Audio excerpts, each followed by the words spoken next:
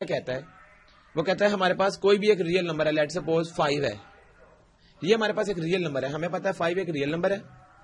ये जो स्टेटमेंट है, ये कह रही है कि हमारे पास जो फाइव है ना, ये इमेजिनरी पार्ट ये हमारे पास कॉम्प्लेक्स नंबर है। वो किस तरह? हम इसमें ज़ीरो आयोटा लिख सकते हैं अपने से, क्योंकि ये आपस में मल्टीप्लाई होकर ज़ीरो हो जाएगा।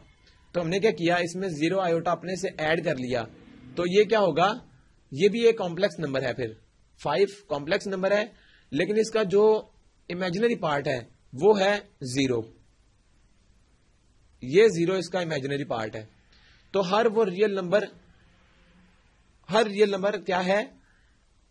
कॉम्प्लेक्स नंबर है, लेकिन कंडीशन क्या है कि उसका जो इमेजिनरी पार्ट होगा, वो ज़ीरो होगा। तो ये हो गया हमारे पास नोट इसके अलावा जो हमारे पास आयोटा है, ये आयोटा बेसिकली क्या है? इसकी पावर्स ऑफ़ आयोटा ये पावर्स ऑफ़ आयोटा का मतलब है कि हमारे पास आयोटा जो स्केयर है, हमें पता है कि आयोटा स्केयर बराबर है माइनस वन के। क्यों? क्योंकि आयोटा बराबर था आयोटा जो हमारे पास था, वो बराबर था किसके? अंडर रूट माइनस वन के। जब हम इन दोनों साइडों पर स्केयर लेंगे तो स्केयर लेने से ये कट जाएगा तो आयोटा का स्केयर किसके बराबर आ गया? माइनस वन के। तो सिंपली हम जब भी हमने सॉल्व करना है क्वेश्चन को तो आयोटा स्केयर की जगह हम माइनस वन को पुट कर सकते हैं। अब हम कॉम्प्लेक्स नंबर को तो देख चुके इसके बाद जो हमारा अगला टॉपिक है, वो है कॉम्प्लेक्स नंबर के ऊपर ऑपरेशन कौन कौन से हम कर सकते हैं। ऑपरेशन ऑन कॉम्प्लेक्स नंबर्स सबसे पहले जो हमारा ऑपरेशन हम कॉम्प्लेक्स नंबर्स के ऊपर कर सकते हैं वो, ये हमारे पास लिखा हुआ है, जिस तरह a plus b iota is equal to c plus d iota इसका मतलब क्या है?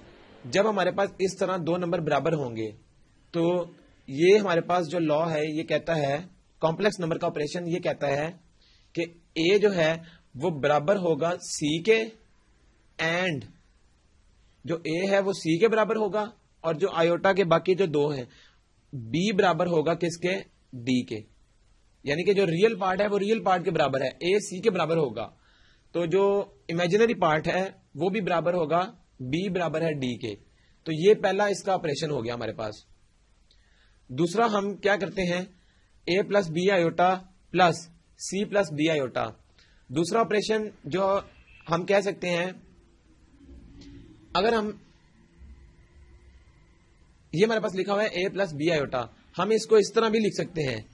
A plus b real part में रियल पार्ट ऐड कर दिया और प्लस बी प्लस डी लेकिन इसका आयोटा बाहर आ जाएगा।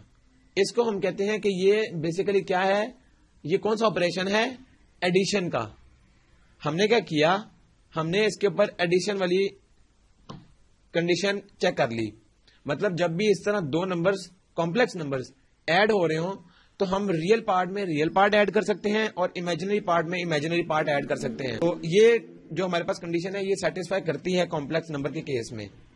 इसके बाद हमारे पास अगर इस तरह लिखा हो के और आगे हमारे पास ये कॉम्प्लेक्स नंबर लिखा हो तो हम बेसिकली क्या कर सकते हैं इसको? जो हमारे पास के था, वो दोनों के साथ मल्टीप्लाई हो जाएगा। मतलब के ए प्लस के बी और आयोटा उसी तरह। तो सिंपली हमने के को अंदर मल्टीप्लाई कर दिया। ये बेसिकली मल्टीप्लीकेशन की प्रॉपर्टी है। इसके बाद अगर ये सब्ट्रैक्शन हमें नज़र आ रहा है, ये माइनस का साइन दो नंबर अगर आपस में सब्ट्रैक्ट हो रहे हो तो हम उसको किस तरह लिख सकते हैं?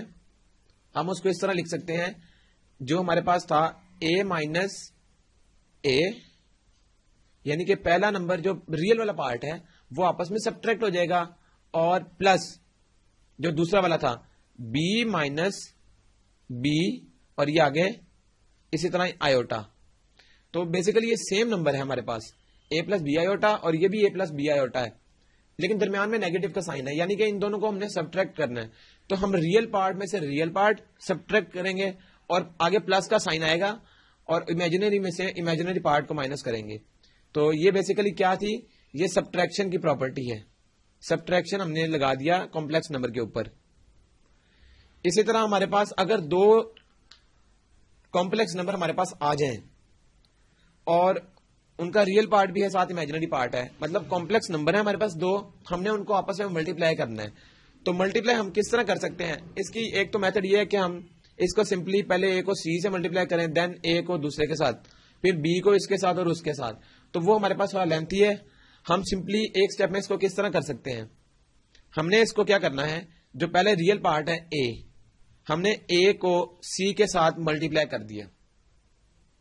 इसके बाद हमने माइनस का साइन लगाना है और बी और डी जो दोनों हमारे पास इमेजिनरी पार्ट थे, वो दोनों मल्टीप्लाई कर दिए। यानी कि ए को पहले सी से मल्टीप्लाई किया साइन माइनस यूज़ किया बी और डी को आपस में मल्टीप्लाई कर दिया। इसके बाद हमने मेन साइन प्लस यूज़ करना है। अब हमने क्या करना है? ए को डी के साथ मल्टीप्लाई करना है। ए डी अब साइन हम यूज़ करेंगे प्लस का और बी सी और इसके साथ हम आयोटा लगा देंगे। तो एक इसका हमारे पास रियल पार्ट हो गया और दूसरा जो हमारे पास है वो इमेजिनरी पार्ट हो गया।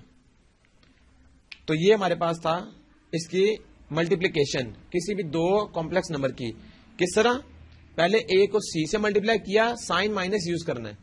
और बी डी देन प्लस का साइन ए को डी से और प्लस बी को सी से और आयोटा साथ आ जाएगा। तो ये बेसिकली हमारे पास कॉम्प्लेक्स नंबर की के ऑपरेशंस आ गए जो हमने इसके ऊपर अप्लाई कर सकते हैं। इसके बाद एक हमारे पास आता है concept conjugate of complex numbers अब हमने कॉम्प्लेक्स नंबर को देख लिया, जो भी रियल और इमेजिनरी पार्ट के फॉर्म में आ जाएँगे, उनको हम कह देंगे? वो कॉम्प्लेक्स नंबर है। कॉन्जुगेट क्या कहता है? कॉन्जुगेट बेसिकली हमारे पास एक कॉम्प्लेक्स नंबर है ए प्लस बी आयोटा ये हमारे पास एक नंबर है. कॉन्जुगेट इसका क्या कहता है? A conjugate of a plus b iota can be written as a minus b iota मतलब कि ये जो हमारे पास ओरिजिनल कॉम्प्लेक्स नंबर था, उसका अगर हम साइन, अगर प्लस है तो उसको माइनस कर दें, उल्ट कर दें तो हमारे पास कॉन्जुगेट आ जाएगा उस कॉम्प्लेक्स नंबर का. तो ये basically simple conjugate complex number की डेफिनेशन हम इसको कह सकते हैं।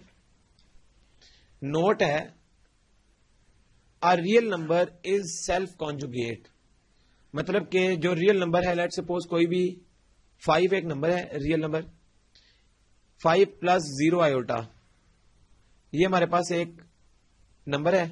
इसको हम रियल कॉम्प्लेक्स नंबर भी कह सकते हैं, क्योंकि इसका इमेजिनरी पार्ट ज़ीरो है।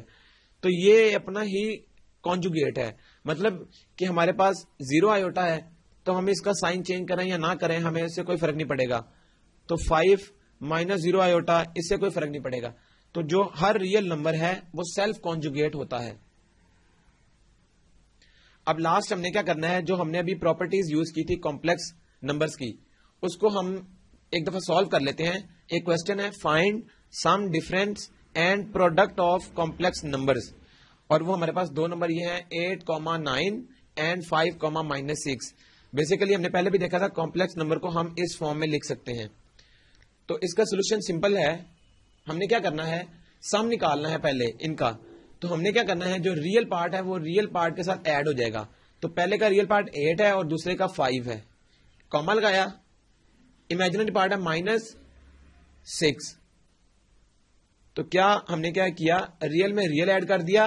और इमेजिनरी में इमेजिनरी तो क्या आएगा आंसर एट प्लस फाइव आ गया thirteen comma nine minus six आ गया थ्री तो इसमें पहला रियल पार्ट है दूसरा इमेजिनरी पार्ट ये तो हमारे पास हो गया सम अब हमने निकाला है डिफरेंस तो डिफरेंस भी सिमिलरली इसी तरह ही होगा. वो कैसे? एट और आगे माइनस क्योंकि सब्ट्रैक्ट करना है. फाइव कॉमा नाइन अब गौर करने वाली बात यह है कि जब हम माइनस यहाँ पर लगाएँगे तो सेकंड माइनस सिक्स है तो वो इसको क्या बना देगा? प्लस सिक्स तो इसका आंसर क्या आएगा? एट माइनस फाइव किया तो थ्री और नाइन प्लस सिक्स फिफ्टीन तो ये हमारे पास आ गया डिफरेंस और इसके बाद जो थर्ड वाली हमारी डिमांड है, वो है प्रोडक्ट की. तो प्रोडक्ट के लिए हमने देखा था सिंपल सा मेथड था कि हमने पहले ये जो हमारे पास नंबर ए था और ये सी था तो पहले इन दोनों को मल्टीप्लाई कर दिया. मतलब एट मल्टीप्लाई बाय फाइव फिर हमने साइन यूज़ किया था माइनस का। बाकी दो नंबर्स को मल्टीप्लाई कर दें। नाइन और minus six nine multiply by minus six हमने सिंपल ये लिख दिया। और इसके बाद हमने क्या किया था? जो मेन साइन प्लस का था। और नेक्स्ट टाइम हमने जिस तरह एट को पहले फाइव से किया, अब हम एट को माइनस सिक्स से करेंगे। तो एट को जब मल्टीप्लाई किया माइनस सिक्स के साथ, अब हमने साइन यूज़ किया था प्लस का। और जो रिमेनिंग रह गया वो है नाइन इंटू फाइव तो सिंपल हमने क्या किया? प्रोडक्ट के लिए इस तरह हमने, जिस तरह पहले हमने देखा था फॉर्मूला हमने वो अप्लाई किया। अब क्या आएगा इससे? Eight five forty minus nine six nine six आता है फिफ्टी फोर मल्टीप्लाई करके, और ये माइनस इसको बना देगा प्लस